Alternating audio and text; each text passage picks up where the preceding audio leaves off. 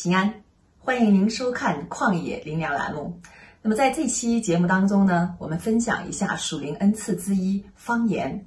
那么首先，我们先来看一下圣经当中有关方言的经文，《哥林多前书》十二章七节到十一节。圣灵显在个人身上，是叫人得益处。这人蒙圣灵赐他智慧的言语，那人也蒙这位圣灵赐他知识的言语。又有一人蒙这位圣灵赐他信心，还有一人蒙这位圣灵赐他医病的恩赐。又有一人能行异能，又叫一人能做先知，又叫一人能辨别诸灵，又叫一人能说方言，又叫一人能翻方言。这一切都是这位圣灵所运行，随己意分给个人的。那么，通过上面这几段经文，我们可以知道，一切属灵的恩赐都是由这位圣灵所运行，随己意分给个人的。那么，有很多弟兄姊妹也许还不明白方言这个恩赐有什么作用。那我们继续来看经文，《哥林多前书》十四章二节。那说方言的原不是对人说，乃是对神说，因为没有人听出来。然而他在心灵里却是讲说各样的奥秘。那么方言也就是你用神所赐给你的言语对神说话。那么得到方言的家人，不要因为你不明白自己的方言在说什么就不说了，反而你要更多的去操练。因为方言是你的灵和神在讲说各种各样奥秘的事，所以哥林多前书十四章四节当中的经文告诉我们，说方言的是造就自己。所以没有方言的家人们，你要渴慕得到方言，要和神去求。当你渴慕的时候，你就必得着。那么下面就和家人们分享一下我得方言的经历。那么在我没有得方言之前呢？我的祷告呢，总是突破不了半个小时，哪怕就是纸上都记满了一些祷告的一些的标题呀，但是怎么也突破不了半个小时。我就想啊，父啊，这么多神的仆人，他们祷告都是啊半个小时、一个小时、两个小时、三个小时，以至于很长时间祷告。我说我就无心祷告半个小时，我就没有词儿了，这怎么祷告下去？怎么突破呀？后面呢，就看到。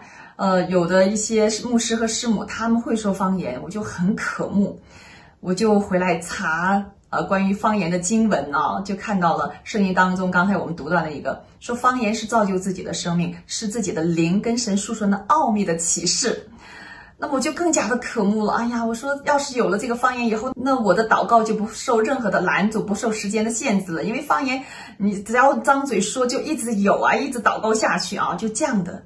非常非常的渴慕，那么就求啊，向神求啊，求啊，求了一个星期。有一天早上在办公室，我说不行，我说父啊，嗯，我是你的孩子，你赐给别人，你要赐给我，因为你是不偏待人的神，你一定要给我。当那天我很渴慕的又在向神求的时候呢，哎，突然圣灵就有一个感动，说你张嘴，你说呀。但是我那个时候我的理性很强，我咋说呀？我不会说方言，我说不出来方言呢。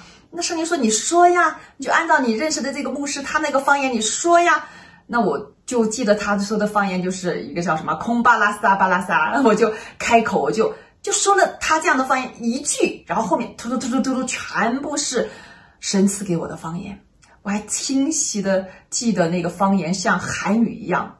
它不是单音节的家人们，它不像现在弟兄姊妹，你的方言是滴滴滴哒哒哒哈，那种单音节的，我说出来的那种就是非常连贯通畅的那样的方言。哎呀，那天就给我开心的不得了，就那一天我都在说方言，然后回家了也在说方言，非常的兴奋。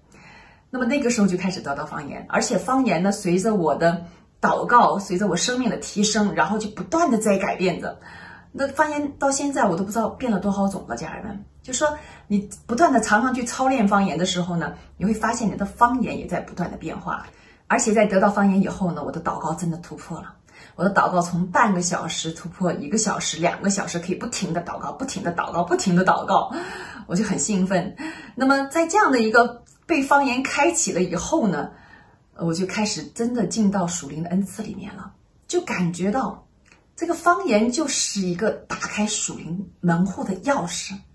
当我不断的操练方言的时候，我就感觉到自己进到灵里面去了。然后呢，圣灵就开始带领我一步一步的开启属灵的恩赐，然后开启了一病赶鬼的恩赐，然后开启了预言的恩赐、翻方言的恩赐。那么这样的属灵恩赐就是不断的通过啊方言开启的。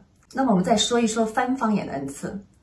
我们来看经文，《格林多前书》十四章二十六节到二十八节，弟兄们。这却怎么样呢？你们聚会的时候，个人或有诗歌，或有教训，或有启示，或有方言，或有翻出来的话，凡事都当造就人。若有说方言的，只好两个人，至多三个人，且要轮流着说，也要一个人翻出来。若没有人翻，就当在会中闭口，只对自己和神说就是了。那么方言是造就自己的生命、开启属灵门户的钥匙。所以呢，在教会当中呢，要不我们就大家一起来说方言，一起方言祷告；要不我们就不说。那么如果说是有一个人领受圣灵的话语，他要说方言的时候呢，那最好要要一个人翻出来，因为所有的恩赐在教会当中都是为了造就教会。啊，如果没有人翻的话呢，那么我就在教会当中不去说方言，只对自己和神说就是了。那么关于翻方言的恩赐呢，我可以找一段视频给家人们看一下，就是我们在特会当中的时候，那进行这样的一个翻方言，就是一个人说方言，一个人把这个方言的意思翻出来。那么翻出来的意思呢，那家人们就能够听懂，因为它是悟性的嘛。那听懂了以后呢，就能够造就弟兄姊妹的生命。好，那么家人们可以看一下下面的一个视频。你是被更新的人，你身上所有的疾病与病痛都因你的改变而改变。你的环境和你所有的捆绑因你的改变而改变。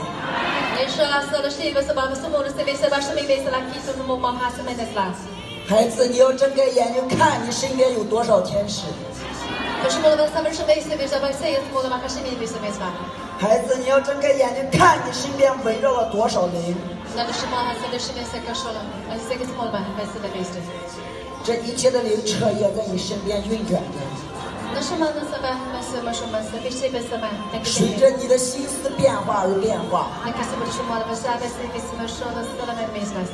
随着你所盼望的执行着你的心中所想望的事。因为我爱你，因为我爱你，我将这一切服役的灵放在你的身边。出于你私意的，他必定使你半跌到里面。出于你爱的公益的，必定使你更加刚强。我今天在这里所要向你诉说的，要切切的记在心里。每一分的感动。都是我的灵在里面的感动。孩子，你要知道我在你的身上。我借着这个人向你说话。我在你的心里。你伤心的时候，我在那里；你痛苦的时候，我在那里；